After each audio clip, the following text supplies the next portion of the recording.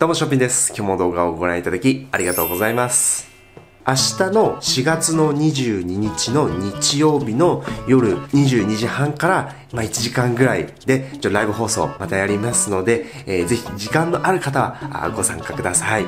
で、今日はどういう話をしようかなというふうに思ったんですけども、あの、僕今、こう、物販ビジネスから教育ビジネスの方にこう、転換していくためのこう、訓練中だったりするんですね。で、その教育ビジネスの今の僕の一番のメンターである、アメリカのカリフォルニア在住のケンジさんっていう人がいるんですけども、で、僕もなんかその喋りとかトークでもう噛み倒すわけなんで、もう今の一言だけで多分10回以上再生し直してるんですけど、それぐらい僕もう噛み倒すし、詰まっちゃうんですね。で、それをこう解消すべく、あの、トークの練習っていうことで、言う黒歴史語っちゃいなよということで、あの、ちょっとアドバイスをいただきましたので、今回は僕の黒歴史、えーいじめられた経験と、それからどう脱出できたのかみたいな、そういう話をちょっとしたいなというふうに思います。今回はミニマリズムでもなく、健康でもなく、メンタルトレーニング系なネタになるかなというふうに思います。なので、この動画を見ているあなたは、甘い蜜をペロペロと舐めていただけるかなというふうに思いますし、それ以外にもあなたがメリットを感じてもらえるように、この動画シェアしていきますので、ぜひ気になるようでしたら最後までご覧ください。そう、本当に今の前置き話すだけでもう20分かかってますもん。もう噛むし詰まるし。はい、頑張ります。じゃあ僕がいじめられた体験なんですけど、僕は小学校1年生の時からいじめられてました。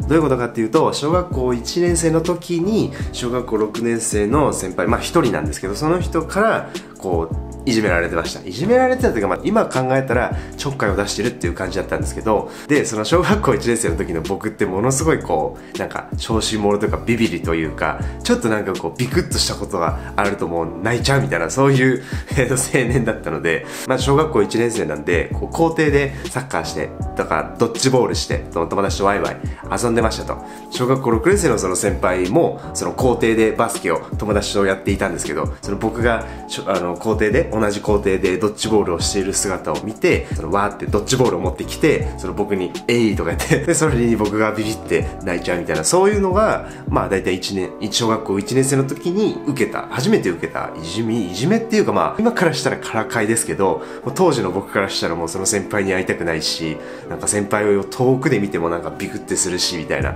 こんな感じで、僕が感じたいじめっていうか、そういうのは小学校1年生でした。で、その次のいじめの体験っていうのは、中学校1年生の冬です。えっと、僕なんか、なぜか冬に調子が悪くなるっていうジンクスが、なぜかありまして、春と夏にかけてその気分が高揚するので、なんかいろんなリミッターが外れるんですよね。で、僕あの基本的にネジも外れてるんで、なんか他の人が、え、なんでそれやっちゃうのみたいなことも平気でやっちゃうっていう、そういう気質なんです。今でも多分それは全然あると思います。まあ、こんなこともやっちゃうんで、そう。まあなのでこう、僕は基本的にネジが外れてるんですけども、周りがドン引きしてって、なんか周りが、ね、なんかあいつおかしくねみたいな話になってざわざわし始めて、クラスの周りから無視をされたり。で、その中学の時僕、卓球部やってたんです。なので、こう、学校が終わって、その放課後に部活の練習があるんですけど、その練習の前までちょっとこう教室で着替えて、卓球室みたいなのがあって、卓球室までこう歩いて、まあ階段降りたりするわけですけど、その時に、こう、いじめっ子たちがその僕を待ち構えてて、で、その対面で何かするわけじゃないんですけど、その僕がこう、つたつたと通り過ぎて、僕の背中が見えてるわけですよね。で、その、その背中めがけて、いろんなものを投げてくるっていう、そういうことをやられてたりとかしました。それ以外にも僕がなんかこう、音を出そうものなら、もうその都度、うるせえとかなんか、なんだよみたいな感じで、こうなんかちょいちょい言われて、僕の耳に聞こえるような感じで言ってくるんですよね。あれは嫌でしたね。で、まあ、ここまで聞いたら、あ、なんかショッピンさんって小学校1年生の時からそんないじめ、いじめを経験してたんだなっていうふうに思うと思うんですけど、僕はですね、中学、まあ、1年生の時も2年生の時も、いじめる側になっていたこともあります。その人のこう、机をなんかどっか隠したりとか、椅子を隠したりとか、影でなんかあいつキモいよねみたいなこと言ったりも、もちろんしてました。いじめられることの辛さとか、そういうの分かってると思うんですけど、いじめる側になった途端に、やっぱこう仲間とか友達意識が増えるので、仲間がやってるから嫌われたくないから、じゃあ自分もいじめやるみたいな、そういう心理でしたね。で、まあちょっと話戻すんですけど、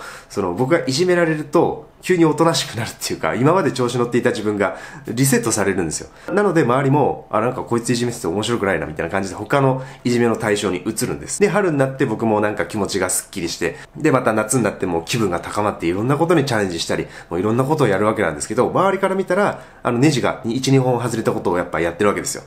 そうすると、あ、なんか、え、やっぱおかしいねみたいになって、また中学校2年生の冬ぐらいからまたいじめられるんです。いや、その中2の時もまあ同じような感じで、対面で何かをされるっていう、その殴られたり蹴ったりとかはないんですけど、で、僕がそのトイレに入って、そのトイレに入ると、そのいじめるやつがいるわけですよ。で、まあもちろんそんな会話もなく、まあ無視で、あ、入ってきた、なんか変なもんが入ってきたみたいな感じで、こう周りの人たちは出るわけです。で、僕がトイレに一人ポツンってなって、まあ用を足してるわけなんですけど、そのトイレの、その廊下に面してる側の壁を、まあ、思いっきり叩いてくるわけですよ。もう、ドンドンドンとかすっごい音してくるんですよね。間接的に僕を殴ってるみたいな感じじゃないですけど、まあそういう風なことをやってくるんですよね。で、僕がカチャって出るとやめるみたいな。さあ、あと僕がその部活、卓球の部活が終わって家にこう、とことこって帰るためにこう、校舎を背にしてこう歩いてるわけなんですけど、そうすると、校舎の人からもう、死ねーとか、なんかもう学校来んなみたいなのをこう、すごい言われて、で、言われながら帰るっていう、そういうのが結構毎日ありましたね。で、またそのいじめられたりとか、その疎遠に周り友達も誰一人いなくなるので、その僕もなんかおとなしくなるというか、シュンとなって、で、周りもなんかそんな僕をいじめても全く反応しないんで、面白くないんじゃないですか。で、またこういじめの対象を変えるわけなんですけど、そう、そんなことやってました。で、そんな僕にも中学2年生のほんと3月とかぐらいに僕に初めての彼女ができました。リサっていうそのテニス部その当時はテニス部やっていた身長がもう143センチぐらいもうちっこい人なんですけどまあ、その人にこう1階から2階に上がっていく時ってこうこうこういう階段なんですけど こういう階段なんですけどその中間地点の部分でなんかこう放課後、えー、もうこっちも卓球終わりました向こうもテニス終わりましたってなった時に告白をしてもらって、えー、付き合うことになったんですけどもで、それでまた僕も気持ちがうわー上がって、また春になりましたと。で、春になってもうすごい気持ちが高まって、夏になって思いっきりもういろんなことをガンガンやるんですけど、周りからあれあいつおかしいねみたいな感じになって、で、またいじめられるんですけど、で、中3の時は早かったんです、いじめが。夏休み終わった後からもう早速いじめが始まってました。学年全体が120人ぐらいいて、で、それの半分が男子で、え、60人が男子で、で、その半分の男子、30人ぐらい。まあ結構集団ですよね。もうなんか毎日のようになんか陰でしねしね言われたり、その後ろからも物を投げつけられたり、僕がその校舎から出て家にこうポトポト帰る時にその校庭の方からもうなんかすごい罵声を浴びせられたり、あとその彼女にあることないことを言われたのが結構きつかったですね。それが原因でその彼女に浮気されて、初めての彼女に浮気されたんですよ。で、まあ僕もその彼女のフォローしてなかったのが悪いんですけど、そうまあそういうことがあったんですね。なのでもう僕の中で中3の2学期ってもう最悪なんですけど、友達もいないし、彼女にも浮気をされて人間不信になるしみたいな感じで、まあ、めまあ、すごい被害者ぶってる考えですけど、中学2年生の秋から冬っていうのはもう半端なくきつかったですね。で、もう帯状疱疹って言って、お腹から胸とかそこら辺がなんかもう、すごいなんか発疹ができちゃって、プツプツって赤いものができちゃって、激痛になるんですけど、まあね、それはまあ母親がすぐに発見してくれて、あの、痛くなる前に収まったんですけど、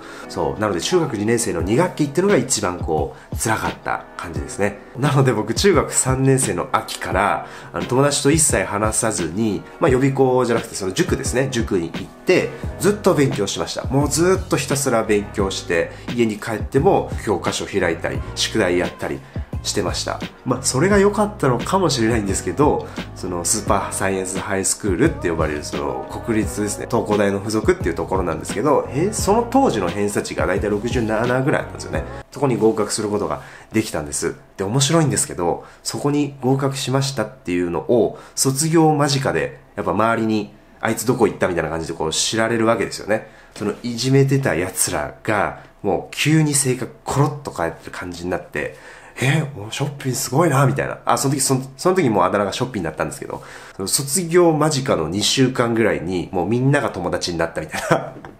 そう、こんな感じになりましたけどね。まあ、以上が、その僕がいじめを受けた体験なんですけども、まあ、この段階で、もうめちゃくちゃ編集編集で、いろんな部分をもう繋ぎ合わせたよっていう感じがあったと思うんで、あの、めちゃくちゃお聞きづらかったと思いますし、よくわかんないなっていうところも多かったと思いますけども。で、もうそのこの動画を見てるあなたは、その僕なんかよりも比じゃないぐらいの陰湿ないじめを受けてたりとか、そういう人も多いと思うんです。でも、そのいじめられていた自分、まあ悲しかったし辛かったし、体に病気を抱えちゃうぐらいストレスを感じていたっていうのはあるんですけど、でもそんな状況を打破できたっていうか、そんな状態でも不登校にならなかったり、社会でまあビジネスやりながらすごい辛いことがあったとしても、あんまりこう、どん底まで落ちないっていうか、その、すぐ気持ちを切り替えられるっていうか、そういう方法が僕には3つあると思ってまして、1つ目が結果を出すっていうことです。で、僕もその中学3年生の後半はもうずっといじめられていたので、もうひたすら勉強する以外には楽しみもないっていうか、家も結構厳しいんで、そのテレビ見てるとか、その携帯いじるとか、そういうのは一切禁止だったんです。なので僕ができることって言ったら、あの、学校で勉強するか、家で勉強するかぐらいしかやることがなかったんですね。そう、外に出て公園に行っても、そのいじめっ子たちがいるわけなんで、いじめられて終了ですもんね。塾で勉強するか、家で勉強するかって、まあそれぐらいしかなかったんで、めっちゃ勉強したんですよ。1日14時間は最低何かしらの勉強をやっていたっていう感じです。その学校の成績も、社会、歴史だけは相変わらず70点とか80点台載せることはできませんでしたけども、他の教科は全部こう92点、95点、100点とか、えー、まあ89とかはありましたけども、まあそんな感じで。なのでその結果を出せたことによって、その自分自身にもそのすごい自信がつきましたし、今まで散々僕をいじめてきた人たちが、なんか、えー、ショッピングすごいね、みたいな感じでこう、友達になろうよ、みたいな感じで近寄ってきたりもしたので、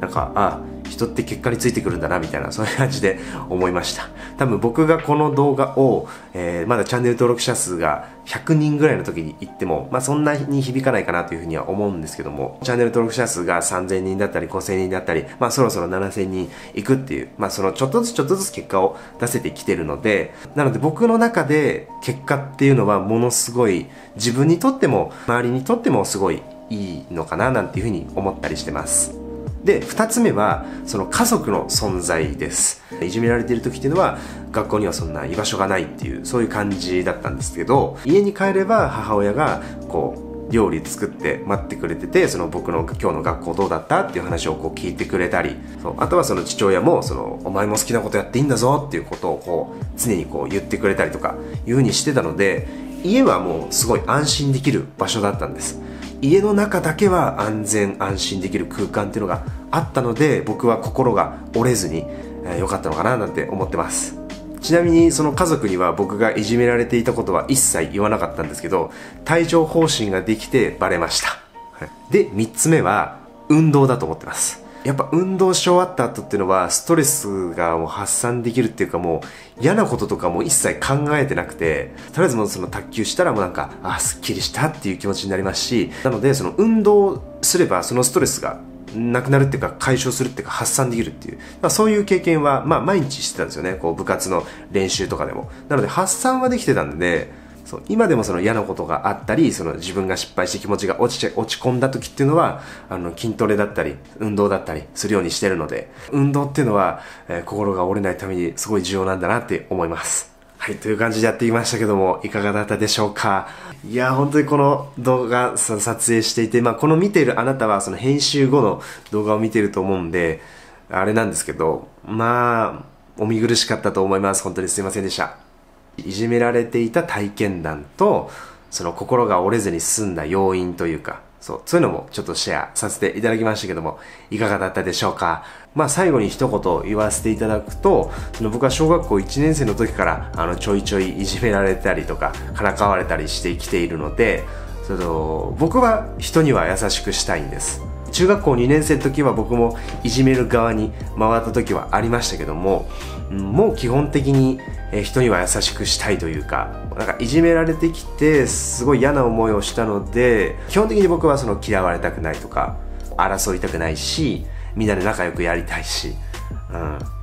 そういうのが根底にあるんですよ。まあ、でもこれは繰り返しになりますけども、その僕の中で結果を出し続けていれば、安心できる家庭があれば、あと運動を続けていればえー、心がポキッと折れることなくググッと耐えて前に進めるなっていうことがありますんで、まあ、この3つは僕の大事な柱としてこれからもやっていきます、まあ、という感じでもう僕はまだまだ至らないことがありますけども、はい、これからも温かい目で、えー、これ見ていただければ大変嬉しく思います。はい、明日のライブ放送でも、多分、まあ、いつも通り噛み倒すかなというふうに思うんですけども、まあ、一緒に楽しめたら嬉しいんで、えー、ぜひ明日のライブ放送、えー、参加していただけたら嬉しいです。ということで、今回はまた新しいチャレンジということで、え、僕の黒歴史をシェアさせていただきましたけども、いかがだったでしょうか？もし今回の動画がちょっとでも面白かったです、参考になりました。それでしたら、ぜひグッドボタンとチャンネル登録ボタンをポチッと押していただければ大変嬉しく思います。僕以上にこう辛い思いをしてる人っていうのもたくさんいると思いますけども、